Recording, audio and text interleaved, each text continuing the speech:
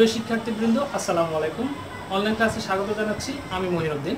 আজ আমরা প্রথম অধ্যায়ের তৃতীয় অংশ নিয়ে আলোচনা করব। প্রথম অধ্যায়ের তৃতীয় অংশে হিসাব সমীকরণ নিয়ে আলোচনা আছে। এই হিসাব সমীকরণটা কি? হিসাব সমীকরণ হচ্ছে A equal to L plus E আমরা একটু জেনে নিই সমীকরণ বলতে কি বোঝায়। সমীকরণ মানে হচ্ছে সমতা। অর্থাৎ দুটো পক্ষ কি থাকবে? সমান থাকবে। যখন কোনো হিসেবে ডেবিট পক্ষ যদি এক হাজার হয়, সমান ক্রেডিট পক্ষ কি হবে? এক হাজার হবে। অর্থাৎ এই অংশে যদি এক হাজার হয়, এই অংশেও কি হবে? এক হাজার হবে। এটাই হচ্ছে সমতা। অর্থাৎ হিসাব সমীকরণ বলে যে হিসাবের প্রত্যেকটা অংশ কি থাকবে? সমান থাকবে। এটার মধ্যে একটা সমতা থাকবে। এই হচ্ছে হিসাব সমীকরণ।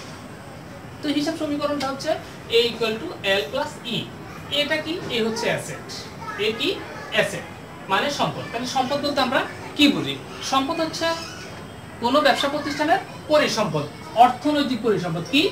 অর্থনৈতিক পরিসম্পদ, ব্যবসা প্রতিষ্ঠানের অর্থনৈতিক পরিসম্পদ যা প্রতিষ্ঠানের মালিকানাধীন থাকে।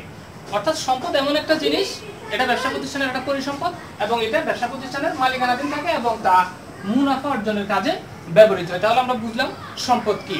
তাহলে সম্পদগুলো আমরা একটু দেখে নেই, কোন কোন সম্পদগুলো? যেমন নগদ ব্যাংক জমা, আসবাবপত্র, যন্ত্রপাতি, দালান কোঠা মেশিন ইত্যাদি, এগুলোকে আমরা সম্পদ হিসেবে চিনে রাখব।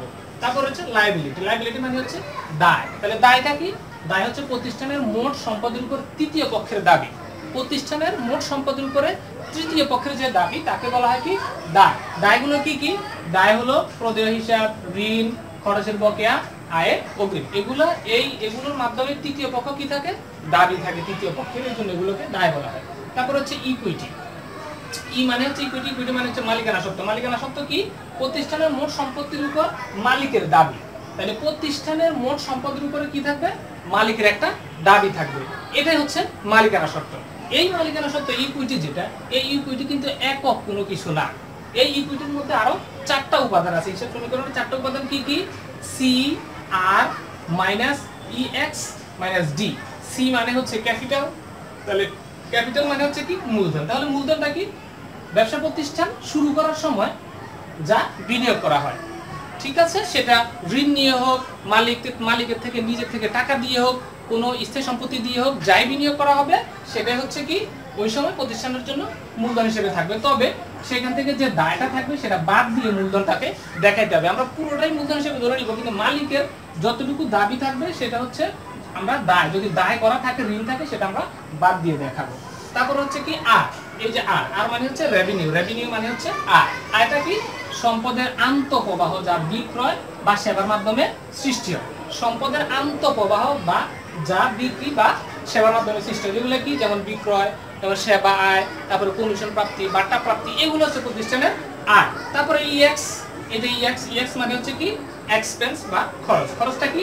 রাজস্ব আয়ের জন্য যে ব্যয় করা হয় তাই খরচ। রাজস্ব আয়ের জন্য প্রতিষ্ঠান যা ব্যয় করে তাই খরচ।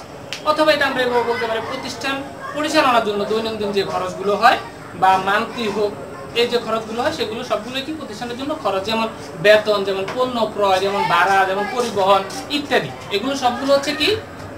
খরচ। তাহলে আমরা খরচ পর্যন্ত জানলাম এরপরে আসে সর্বশেষ যে উপাদান, সেটা হচ্ছে ডি। ডি মানে হচ্ছে ড্রয়িং বা উত্তোলন। তাহলে উত্তোলন কি? প্রতিষ্ঠানের মালিক নিজ প্রয়োজনে প্রতিষ্ঠান থেকে যে নগদ বা পণ্য নিয়ে যান। অর্থাৎ মালিকের নিজ প্রয়োজনে প্রতিষ্ঠান থেকে যদি কোনো কিছু তিনি নিয়ে যান, হোক সেটা নগদ টাকা বা প্রতিষ্ঠানের ব্যাংক থেকে তিনি কিছু নিজের প্রয়োজনে উত্তোলন করলেন, অথবা প্রতিষ্ঠান থেকে পণ্য নিয়ে গেলেন, এগুলো হচ্ছে কি? উত্তোলন। তাহলে আমরা কি শিখলাম?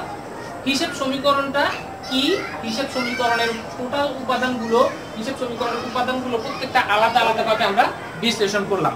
এটা ছিল আমাদের প্রথম অধ্যায়ের তৃতীয় পার্ট আমি প্রথমে বলেছিলাম যে প্রথম অধ্যায়ে আমাদের চারটা বিষয়বস্তু নিয়ে আলোচনা করছে, তার মধ্যে তৃতীয় নম্বর হচ্ছে হিসেব সমীকরণ। আজ আমরা হিসেব সমীকরণ আলোচনা করলাম। হিসাব সমীকরণ হচ্ছে আমাদের খুবই গুরুত্বপূর্ণ একটা জিনিস হিসাব বিজ্ঞানের জন্য। এটা এটা দিয়ে আমরা হিসাব সমীকরণের প্রভাবটা করতে পারব। পরবর্তী ক্লাসে আমি অবশ্যই তোমাদের সাথে হিসাব সমীকরণের প্রভাব নিয়ে একটা অঙ্ক নিয়ে তোমাদের সামনে আসব। সেই পর্যন্ত সবাই ভালো থেকো, সুস্থ থেকো। আমাদের চ্যানেলটি অবশ্যই সাবস্ক্রাইব করে রাখো এবং পাশে থাকা বেল আইকনটি ক্লিক করে রাখো নতুন ভিডিও পাওয়ার জন্য। আল্লাহ হাফিজ। আসসালামু আলাইকুম রহমতুল্লাহ.